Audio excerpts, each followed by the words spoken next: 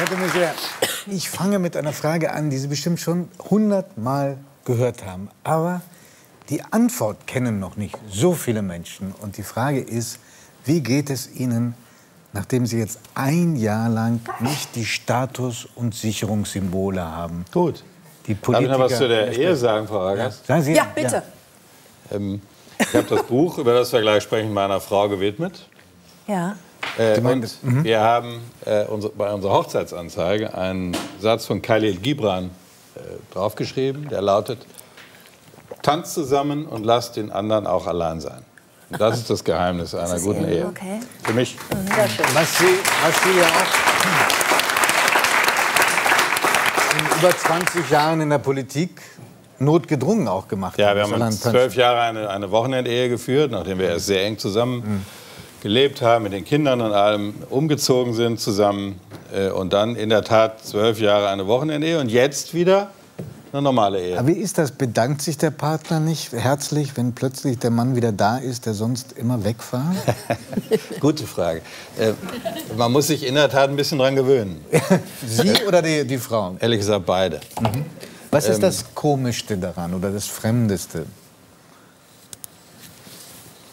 Wenn ich am Wochenende da war oder Teile des Wochenendes während meiner Ministerzeit, dann war im Grunde klar, da ist noch Wahlkreis, da sind Akten und der Rest ist Zeit für uns. Kinder waren dann allmählich aus dem Haus. Und jetzt müssen wir morgens, wenn ich da bin, besprechen, essen wir zusammen oder nicht? Ähm, was machst du denn eigentlich den ganzen Tag? Erzählen wir uns das oder nicht? Äh, und daran mussten wir uns wieder gewöhnen. Sie haben auch mal gesagt, Sie arbeiteten mit Ihrer Frau zusammen an einem privaten Mobilitätskonzept. Was darf man sich darunter vorstellen?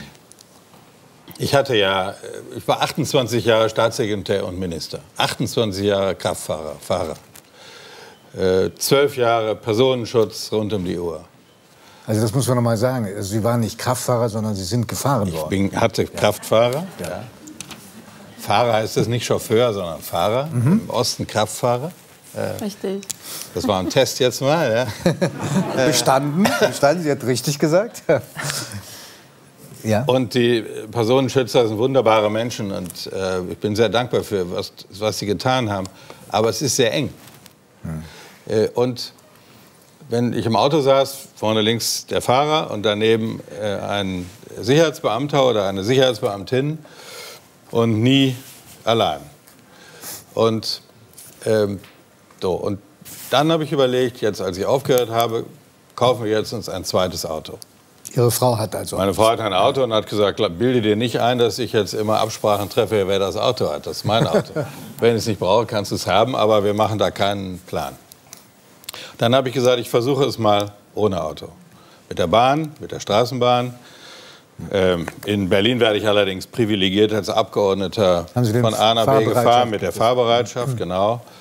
Äh, und äh, ab und zu nehme ich das Auto meines, meiner Frau. Und ich habe einen Vertrag gemacht mit einem Unternehmen, das heißt Teilauto, das ist eine Art äh, Autosharing äh, für Fahrten im näheren Umkreis. Und das geht wunderbar. Und ist Ihnen das Einparken von alleine nach so vielen Jahren gefahren werden schwer gefallen? Das habe ich mal im Interview gesagt, dass bei der Herstellung meiner Alltags, Wiederherstellung meiner Alltagstauglichkeit ein großes Hindernis das gekonnte rückwärts einfahren war. Wieder besser geworden, aber noch nicht perfekt. Und wenn Sie Ihrer Frau eine Beule ins Auto fahren, ist das ähm, für Sie schlimm Jetzt oder ist sie jetzt, wir sind ja hier unter uns. Ne? Ja. Eine Beule habe ich ihr nicht ins Auto gefahren, aber ich habe bei der Einfahrt in eine ziemlich enge Zufahrt bei uns aufs Grundstück am Rand etwas gekratzt. Und haben Sie es sofort gebeichtet oder hat sie es von alleine gemerkt? Nein, nein, sofort gebeichtet. Ich habe einen ziemlichen Anpfiff gekriegt. Ihre Frau muss sowieso eine tolle Person sein. Ja. Die hat auch gesagt, sie ist sozusagen ihre Berliner Herkunft nie losgeworden. Nein, die stammt ganz falsch. Die stammt aus Detmold, aus dem Nein, nein, das weiß ich. Aber als sie dann in Berlin lebt und sie sich kennenlernte, hat sie sozusagen ihre Sozialisation in Berlin ist sie nie losgeworden und auch ihre feministische Grundprägung. Naja, wir haben ja gelernt, was starke Frauen äh, sind und. Kobic, Sie sind gemeint? Ich weiß nicht, ob man da feministisch sein muss, äh, aber ja, äh, sie war auch politisch früher eher ein bisschen links. Sie war in Hamburg Sprecherin von Amnesty International und so, aber wir haben uns dann so ganz gut angepasst. Und wenn Sie von in der Vergangenheitsform sprechen, haben Sie ihr das sozusagen ausgeredetes Linkssein oder wie passt man sich da in der Ehe politisch an? Ja, wir haben durchaus unterschiedliche Auffassungen, aber ist jetzt ein Wahlgeheim. Es könnte sein, dass sie auch schon mal CDU gewählt hat. Auch als Sie noch aktiv waren, also als Minister. Jetzt sind Sie noch Bundesversammlung. Aber es gibt Geheimnisse, die wollen Sie gar nicht lösen. Nein, genau. Hm.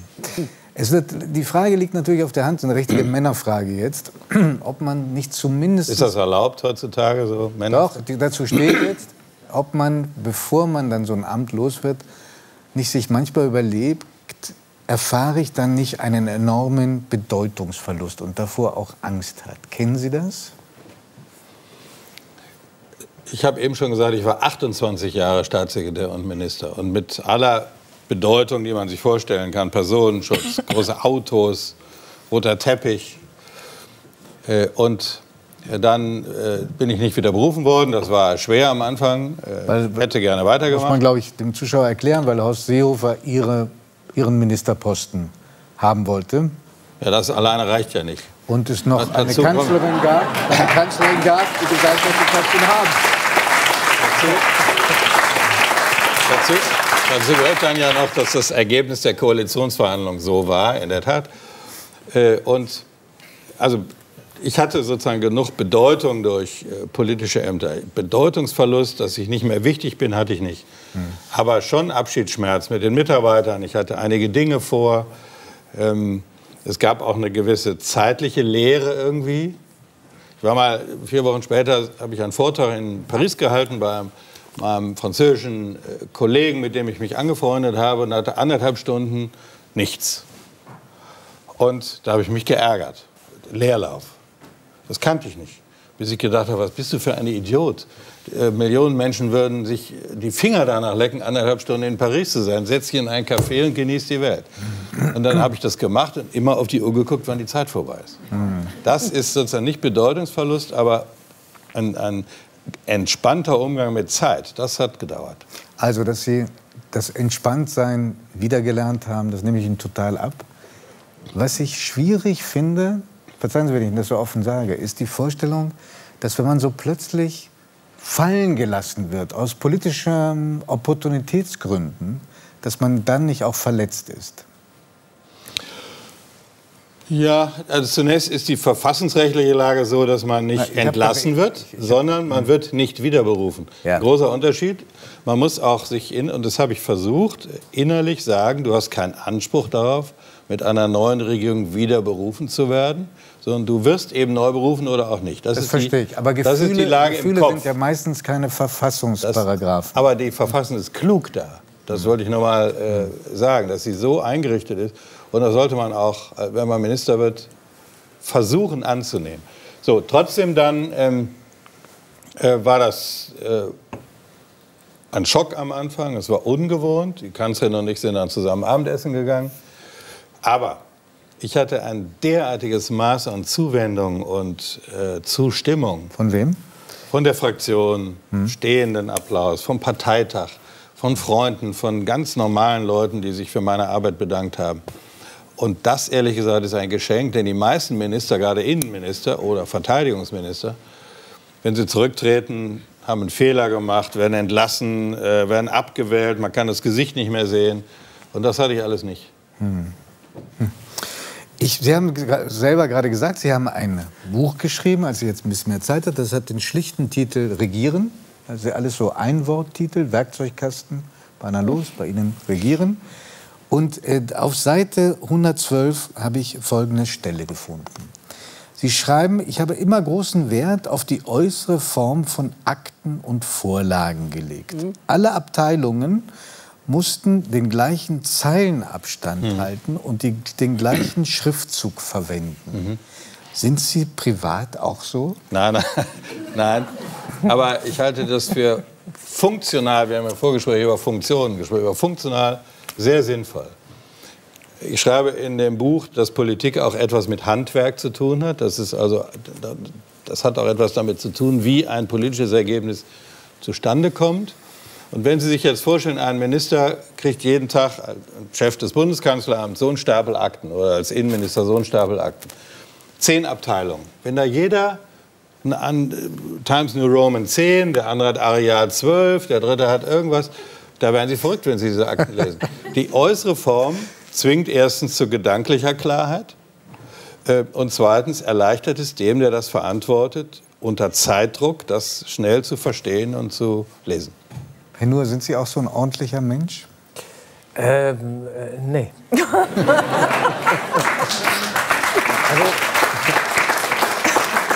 ich, ich neige schon zur Ordnung, das stimmt schon. Also ich habe schon alles bei mir, also meine Texte und so weiter. Ich, ich suche was und das, das finde ich auch sofort, äh, auch wenn mir mein Computer das eigentlich viel einfacher macht heute. Ich kann ja einfach Suchbegriffe eingeben und finde alles. Ich führe in dessen Quellenkataloge und so weiter und so fort. Das liegt aber daran, dass ich nach jeder Sendung äh, Programmbeschwerden, Shitstorm und alles kriege und dann belegen können muss. Das heißt, ich muss den Leuten sagen können, dass ich, äh, wo ich es her habe und so weiter, weil mich sofort jemand fragt, du mhm. Drecksack, wo hast du das wieder her? Und dann weiß ich, kann ich zeigen, da, da mhm. steht das. Mhm. Und das und muss das man dann, da muss ich Ordnung schnell halten. Zu finden. Ja, aber, ja, ja. aber so Times New Roman 12 benutze ich gar nicht. Herr de Maizière, ich lese Ihnen noch einen schönen Satz aus Ihrem Buch vor sehr allgemeinerseits und würde Sie sehr bitten, das an einem Beispiel festzumachen. Sie schreiben, wer die Menschen nicht achtet, sollte nicht Minister werden. Und ich frage Sie, woran merkt man das, wenn ein Bundesminister die Menschen nicht achtet? Ja, der, der Punkt ist mir ehrlich gesagt sehr wichtig. Das ja. ist jetzt nicht so spaßig. Steht sogar, steht sogar auf dem Klappentext. Dieser. Ähm, es gibt so eine joviale Scheinnähe, die Minister so herstellen, so ein pauschales Ihr und so, was aber eine, eigentlich eine Geste des Ich komme jetzt mal zu euch runter bedeutet. Das ich Stellt sich das ein, wenn zum Beispiel Politiker sagen Ihr? Man kann mal ihr sagen oder so, aber... Ich kannte einen ähm, Bundeskanzler, der das oft gesagt hat. Ja, Helmut Kohl hat ja. das oft gesagt. Helmut Kohl hatte, glaube ich, äh, hatte davon auch etwas, aber hat, glaube ich, die Bodenhaftung äh, immer versucht, jedenfalls äh, zu bewahren. Aber wenn Sie, ähm, wenn Sie auf einen Jahrmarkt gehen, auf ein Schützenfest und so, dann entsteht so oft ein, ein joviales Ich komme jetzt mal zu euch. Mhm. Das ist nicht in Ordnung. Dann ähm, viele achten nicht die Lebensleistung der Menschen, mit denen sie reden, sondern reden unentwegt. Und äh, ein ernstes Fragen, was ist Ihre Lebenssituation, was machen Sie, äh, äh, zeigt, finde ich, Respekt äh, und daran zeigt sich auch solche Achtung. Man muss die Menschen auch mögen irgendwie, mit, für die man Verantwortung trägt, finde ich. Sonst sind Sie, sind Sie ein Mensch, der andere Menschen mag? Solange Sie Times New Roman 12 benutzen. Das, Frau Ragaz, das ist innerhalb der Verwaltung. Das ist äh, ja, ja. außerhalb mochten, mochten Sie die Menschen in der Verwaltung? Ja. ja? äh, er hat ja so einen Beamtenwitz gemacht am Anfang. Äh, das mögen Beamte nicht so gerne. Ah. Ich finde auch, Deutschland hat alles in einem gute Beamte, vor allem gute Ministerialbeamte. Das schreibe ich da auch. Wir können uns. Was? Wir müssen sagen, uns ich habe nicht über Beamte geredet, sondern über meinen Vater. Und ich, hab, äh, und, und ich, mag meinen, ich mochte meinen Vater auch. Äh, gut. eins zu eins. Eins zu eins. Aber ich finde, wir müssen uns vor der britischen, französischen, italienischen, spanischen, amerikanischen Verwaltung von Regierungen, Ministerialverwaltungen, müssen wir uns nicht verstecken. Das sind äh, gute Leute. Und äh, ja, die mag ich. Mhm. Und die anderen Menschen auch? Können Sie das vermitteln? Ich mag natürlich nicht alle, ist ja völlig verrückt. Können Sie, dass man Sie irgendwie glauben könnte, man, man äh, mag Leute. Ich habe als Kind äh, dieses Buch Elf Freunde müsst ihr sein gelesen, mhm. haben wir wahrscheinlich alle gelesen. Und habe gedacht, eine erfolgreiche Fußballmannschaft besteht aus elf Freunden. Mhm. Bis ich festgestellt habe, das ist mitnichten der Fall. Da gibt es Eifersüchteleien und dies und das. Und natürlich muss man als Mensch, der Verantwortung trägt, ob Minister oder ich weiß nicht, für eine Redaktion vielleicht auch, man muss mit Menschen zusammenarbeiten, die man nicht mag. Mhm. Da muss man sich eben zusammenreißen. Mhm. Aber wenn Sie prinzipiell die Menschen nicht mögen, mit denen Sie arbeiten, dann wird es nicht. Gibt es denn überhaupt solche Menschen, die in der Politik sind und für andere Menschen eigentlich da sein müssten? und Menschen nicht mögen. Haben Sie solche Beispiele kennengelernt? Ja. In, in allen Parteien? Ja. Sind davon noch ein paar im Amt? Ja. Hm. Weitere Fragen beantworte ich. Ich beantworte, Ihnen, ich beantworte Ihnen die Frage nach dem Moderator und Sie müssen sagen, wer Ihnen einfällt. Naja, da weiß ich nicht, ob ich mich darauf einlasse. Können ja, Sie haben ja vorher zugesagt, bevor ich Ihnen das zugesagt habe, dass Sie das mit dem Moderator sagen. Nein, das will ich jetzt nicht, äh, das will ich jetzt nicht sagen. Aber ähm, die, gerade bei Abgeordneten, die lange dabei sind, die empfinden das oft als selbstverständlich, dass sie Abgeordnete sind. Ähm, und äh, wir reden auch zu viel mit den immer gleichen Leuten. Das ist auch ein Problem, nicht weil wir das irgendwie wollen, sondern weil die immer an uns Terminwünsche haben. Und da muss man dann ausweichen und mit, mit Normalos, wie Jürgen Klopp sagen würde, reden, um auch die Bodenhaftung zu behalten. Und das tun nicht mehr alle. Ähm, Sie wissen, dass das eine Unterhaltungssendung ist, dass die am Freitagabend läuft. Insofern will ich Sie da gar nicht in ein langes Gespräch verstricken. Aber merken Sie, wenn Sie unterwegs sind, auch, dass Sie für viele Menschen das Gesicht sind, ähm, das dafür steht, dass in Deutschland insbesondere in den Jahren 2015 und 2016 Hunderttausende von Flüchtlingen gekommen sind. Also sozusagen das Gesicht der Flüchtlingskrise. Und merken Sie manchmal da auch Aversion und Kritik? Ja, äh, mir hat einer mal in einem Kaufhaus in Dresden über die Rolltreppe zugerufen, du Volksverräter, interessanterweise geduzt. Äh, im, aber sonst merke ich das schon durch mal so eine Abwendung. Aber an sich erlebe ich trotz dieser Jahre, das waren ja Flüchtlingskrise-Jahre und Terrorjahre, einfach deutlich mehr Zustimmung als Ablehnung. Also auch in das liegt aber auch daran, dass, äh, dass Politiker äh, an sich ein Übermaß an Zustimmung im Gespräch bekommen. Äh, weil Ablehnung wird ihnen gegenüber meistens nicht geäußert, es sei denn in ganz schrecklichen äh, E-Mails oder Chatbotschaften oder dann mal so eine Situation. Also viele trauen sich Politiker nicht zu sagen, ich finde falsch, was sie gemacht haben. Das sagen sie aber jemand anders. Also gegenüber Politikern fehlt es oft an dem Mut, in einer differenzierten, klugen, nüchternen Art Kritik zu üben. Herr de Maizière, wer mit der Bunten redet, der läuft Gefahr, dass man ihn zitiert. Und in dieser Zeitung haben Sie mal gesagt, dass Sie gerne nicht nur Hase und Igel spielen, sondern wenn Sie richtig mal die Sau rauslassen wollen, wörtlich, dann auch Charade. Darf ich daraus schließen, dass Sie dafür eine gewisse Begabung haben? Na, wir haben natürlich bei, bei äh, früher Geburtstagen oder wir haben äh, in Gruppen im Skiurlaub oder so, äh, bei Geburtstagen, wenn wir älter waren, haben wir Silvester, haben wir Charade gespielt, ja. Mhm. Und jetzt müssen Sie sich leider durch diesen Tunnel müssen Sie jetzt gehen. Ich habe drei wunderbare Begriffe. Okay. Leicht aufzulösen. Die ich jetzt. Äh, ich zeige Ihnen es, damit nicht. Ohne etwas zu sagen spielen soll. Ohne was zu sagen. Sie, Sie, schauen Sie, das ist der erste Begriff. Dieter Nur darf nicht. Ah, die müssen raten. Ja, wir müssen raten, genau. Also ich weiß es, aber ihr müsst raten. Das ist ganz einfach. Kann man noch so Sachen fragen wie konkret oder abstrakt oder sowas? Äh, Soll ich mich aufstehen und umdrehen ja, für ja, ich alle? weiß, oder? aber man kann ja sagen konkret oder es abstrakt. reicht, wenn Sie es hier in der Runde machen und natürlich können Sie alle mitrufen. Okay, das ist ganz einfach so. Angela Merkel. Das war leicht. Das war leicht. Also jetzt, wir sind unterwegs. Und jetzt wird es schwieriger. Jetzt wird es Das war jetzt schwieriger. leicht. Jetzt wird es schwieriger. Schauen Sie mal. Ich darf ja nichts nehmen, ne? Nein.